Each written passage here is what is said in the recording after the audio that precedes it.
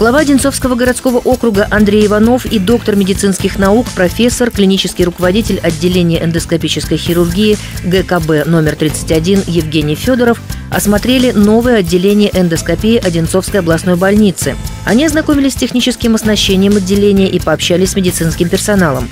Как отметил глава муниципалитета, по своему функционалу эндоскопическое отделение в обновленном здании городской поликлиники номер один соответствует высоким мировым стандартам.